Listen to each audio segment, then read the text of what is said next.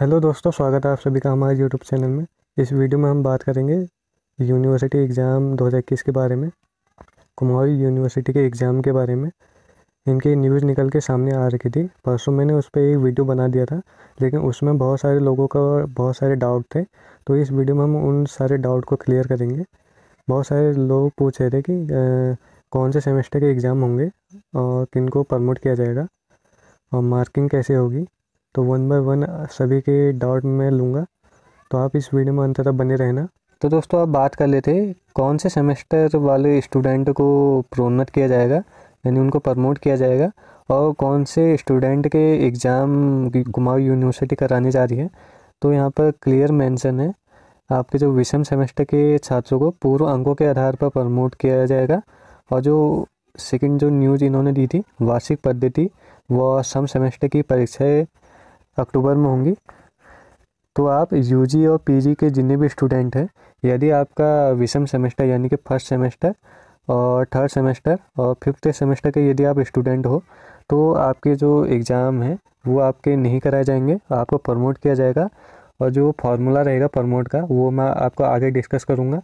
और जो annual mode के जितने भी स्टूडेंट हैं फ़र्स्ट ईयर सेकेंड ईयर और थर्ड ईयर के स्टूडेंट जितने भी हैं, या आपका एमए फ़र्स्ट ईयर हो बी ए फ़र्स्ट ईयर हो सेकेंड ईयर हो थर्ड ईयर ईयर वालों के जितने भी एग्ज़ाम हैं, वो सितंबर, अक्टूबर में यूनिवर्सिटी करानी जा रही है। और साथ ही साथ सम सेमेस्टर के स्टूडेंट भी, जो कि सेकेंड सेमेस्टर फोर्थ सेमेस्टर और सिक्स सेमेस्टर के जितने भी स्टूडेंट हैं, चाहे आप यूजी हो या पीजी आपका स्नातक हो या स्नातकोत्तर तो आपके जो एग्ज़ाम होंगे, ये भी इनके साथ ही कराए जाएँगे। और इसमें कोई भी चेंज होता है तो हमारा चैनल आप सभी को सबसे पहले बताएगा। तो आप हमारे चैनल को सब्सक्राइब कर दीजिए।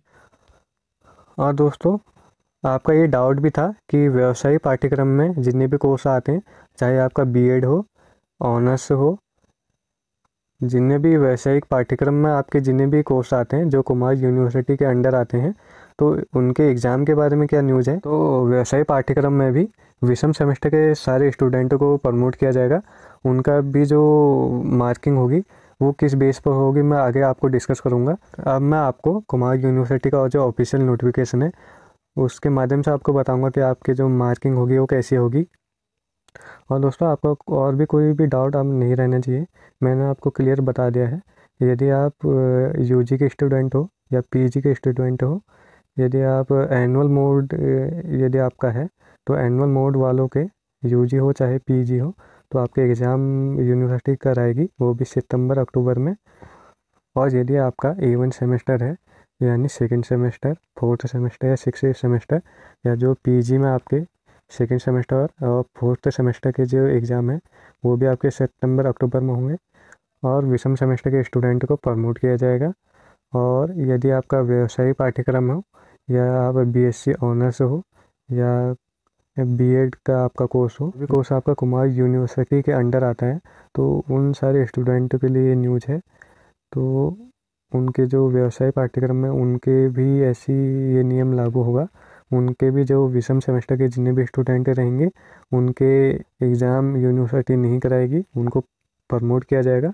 और जो सम सेमेस्टर यानी इवन सेमेस्टर के जितने भी स्टूडेंट रहेंगे, उनको एग्ज़ाम देने होंगे। वो भी सितंबर और अक्टूबर में। और दोस्तों, और भी कोई डाउट रहेगा आपका तो आप हमें डायरेक्टली नीचे कमेंट बॉक्स में कमेंट करना। हम आपके क्वेश्चन का आंसर आपको देंगे। तो आप बात कर लेते विषम सेमेस्टर में जितने भी स्टूडेंट हैं, प्रथम सेमेस्टर को छोड़कर। तो उनको मार्क आपके कैसे आपका जो रिज़ल्ट होगा, किस बेस पर आपका घोषित होगा। तो विषम सेमेस्टर में अध्ययन जिन विद्यार्थियों द्वारा कतिपय विषयों प्रश्न पत्रों की लिखित परीक्षाएँ दी गई हैं। ऐसे विषयों प्रश्न पत्रों में विद्यार्थी द्वारा बाह्य लिखित परीक्षा के मूल्यांकन में उपरांत अर्जित यथावत प्रदान किए जाएँगे।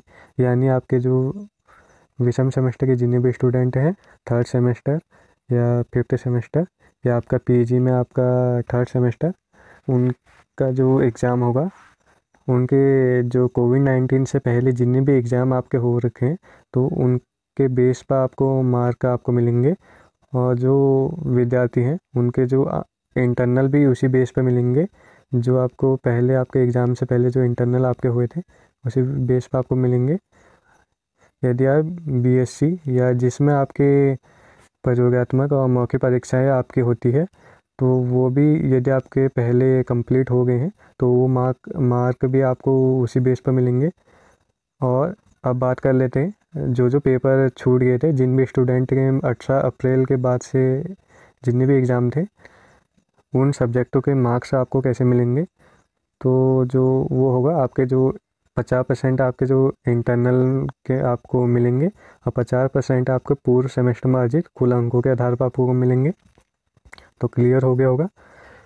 यदि आपके एग्ज़ाम अठारह अप्रैल से पहले जितने भी हो गए हैं तो आपको जो भी एग्ज़ाम में आपने, जो भी लिखित परीक्षा आपने दी होगी, उस बेस पर और आपके जो इंटरनल पहले आपके जो हो गए हैं, उसी बेस पर उस सब्जेक्ट में आपको मार्क मिलेंगे और जिन सब्जेक्टों के पेपर आपके कोविड नाइन्टीन के कारण छूट गए थे तो उन में आपको पचास परसेंट आपको इंटरनल के बेस पर मिलेंगे और फिफ्टी परसेंट मार्क्स आपको जो प्रीवियस सेमेस्टर है उस सब्जेक्ट के हिसाब से प्रीवियस सेमेस्टर में जितने भी आपके मार्क होंगे, उसके आधार पर आपको मिलेंगे।